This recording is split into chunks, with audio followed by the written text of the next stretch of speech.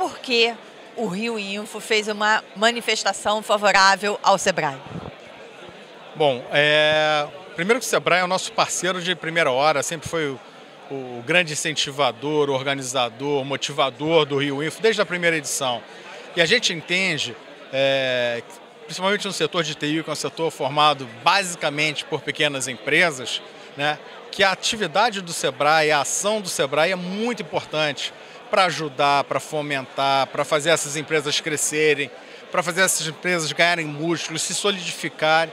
Então, toda essa atividade do Sebrae, toda essa participação do Sebrae é, no mercado de uma forma geral, mas muito especial no mundo da tecnologia da informação para empresas pequenas é muito importante.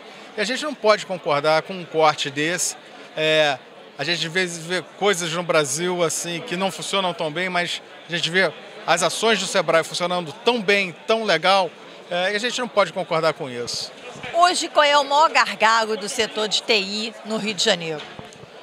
Olha, o maior gargalo do setor de TI aqui no Rio é, é, bom, enfim, o gargalo são negócios, né? Isso daí é a coisa que que, que, que tá, tá difícil no Brasil no, no, no, e no Rio ficou muito mais tenso ainda.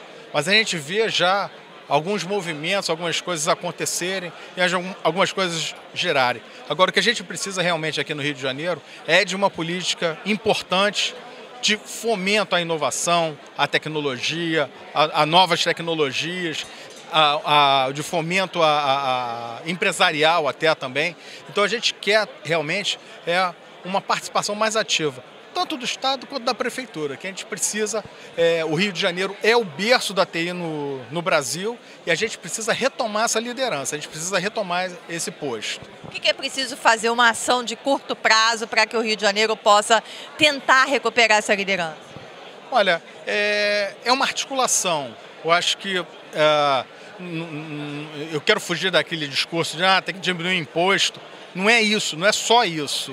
Passa, passa por uma, por, por uma readequação de impostos realmente, mas tem que ser uma coisa mais ampla, tem que ser uma articulação, tem que se sentar e tem que se criar uma política, tem que se criar um planejamento de curto, médio e longo prazo para essas coisas acontecerem. O Rio de Janeiro respira inovação, o Rio de Janeiro respira conhecimento, o Rio de Janeiro respira inteligência, então acho que a gente tem tudo a favor. Essa é a vocação do Rio, é a gente estar é, tá à frente nesse mundo da tecnologia.